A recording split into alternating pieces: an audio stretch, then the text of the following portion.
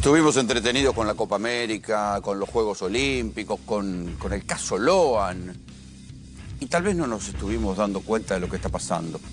Esta noche en GPS van a ver cómo un municipio del conurbano, el municipio de Morón, que no es de los más pobres, se declaró la emergencia alimentaria. Hay un debate que no se está haciendo público entre los intendentes del conurbano sobre si tienen que seguir sosteniendo, si tienen que seguir gastando fondos en alimentar a la gente que el gobierno nacional dejó de alimentar, porque nunca más volvieron los alimentos a los comedores, ni la plata a, los que tienen hambre. No, solo se está la, la tarjeta alimentar, la asignación universal por hijo, pero ahora los intendentes dicen, che, pero este, este presidente nos corta los fondos, nos corta las obras públicas y además tenemos que gastar plata de nuestros presupuestos para mantener a la gente porque somos el primer mostrador del Estado.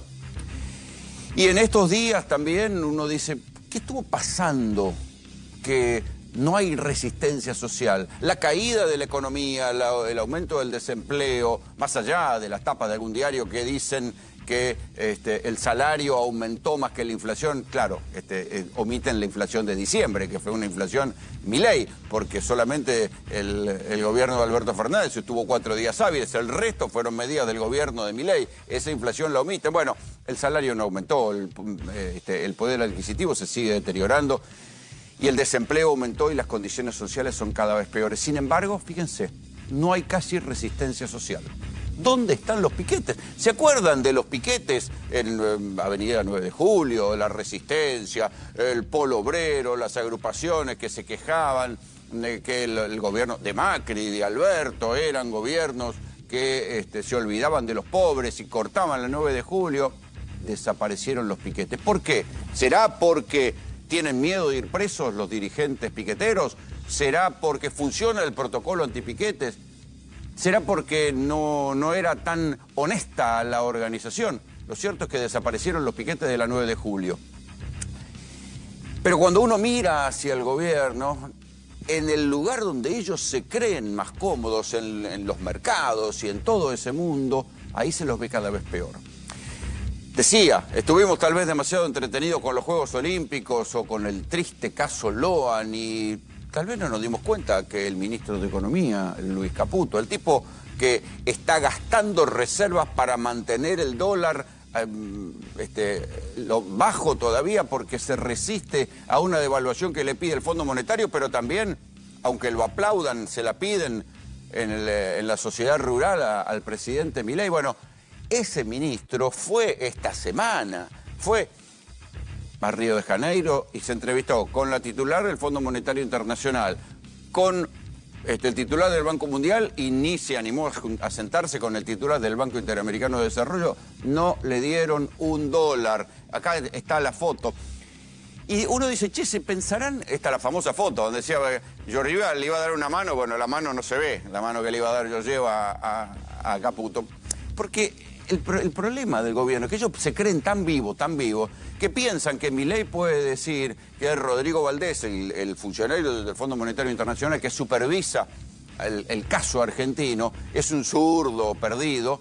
Y mientras tanto, Luis Caputo puede escribir un tuit chupamedia contra o sea, a favor de Cristalina Georgieva diciendo que es la mejor titular del FMI de toda la historia. ¿Qué piensan? ¿Que no se dan cuenta de semejantes este, este, pavada, piensan que realmente esto es como en el mundo de los trolls y de las redes sociales, donde uno puede decir una cosa y al día siguiente decir la contraria, y aquí no ha pasado nada, no, señores. El Fondo Monetario Internacional, como la diplomacia, como los estados, son algo mucho más serio. Acá está, el tuit de Toto Caputo, diciendo, en inglés, que Cristalina Georgieva es la mejor, la mejor titular del Fondo Monetario Internacional y dice gracias por el apoyo del Fondo Monetario cuando el Fondo Monetario no le está dando un solo dólar a la Argentina. Pero estas son las, la, doble moral que tiene el gobierno, porque ese mismo ministro de Economía, que ya va a quedar seguramente como una frase célebre, esa de que vamos a tener que gastar los dólares para pagar los impuestos, ese ministro de Economía Luis Caputo, a quien el Fondo Monetario no le quiere dar dólares porque sabe que se los va a timbear, como ya se los timbió en otra época, es el que está diciendo que hay, el peso va a ser la moneda fuerte. ¿Y saben qué? Su declaración jurada dice que el patrimonio, más o menos, de Caputo es de 8 millones de dólares. ¿Y sabe en qué él tiene ese patrimonio? En dólares y afuera del país. Entonces, ¿cómo le vas a creer a un ministro que dice que tiene, que el peso va a ser la moneda fuerte, pero la guita la deja afuera? Y esto es el, ministro de Economía. El presidente del Banco Central, Santiago Bausili, lo mismo. Toda la guita afuera o en criptomonedas y, ay, nos quieren vender que el peso va a ser la moneda fuerte. El Fondo Monetario no le da plata a Santiago Caputo y por ende tampoco a la Argentina.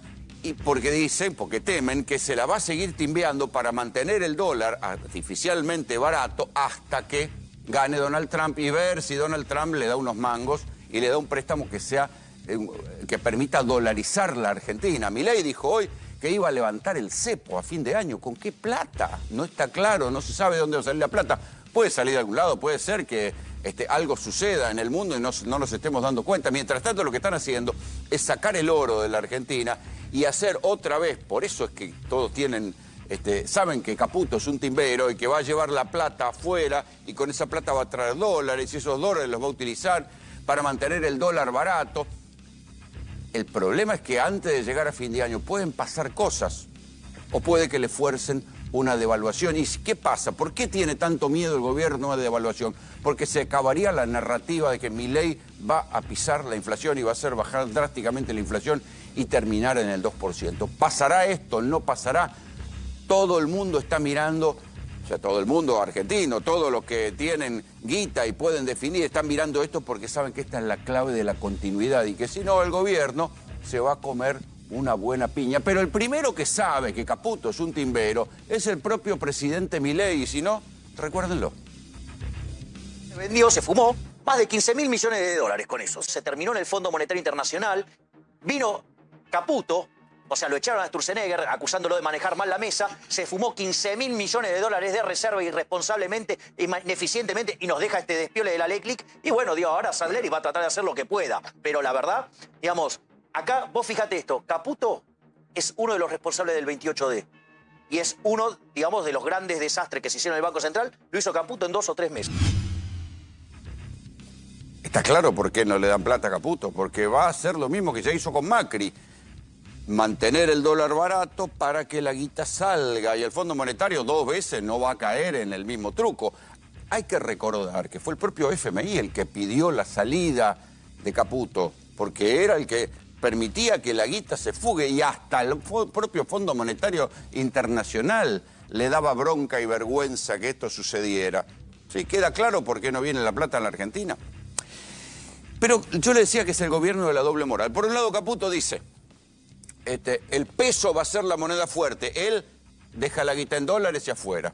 Por otra parte, se conoció esta semana un decreto increíble por el cual, un DNU, ni siquiera un decreto común, un DNU, necesidad de urgencia, por el cual remodelan la, inteligencia, los organismos de inteligencia, la AFI deja de existir, aparece la CIDE otra vez en escena con cuatro dependencias, no importa. Pero lo notable es que ahí le dan 100 mil millones de pesos de gastos reservados. Supongo que será hasta fin de año, para cuando haya un nuevo presupuesto.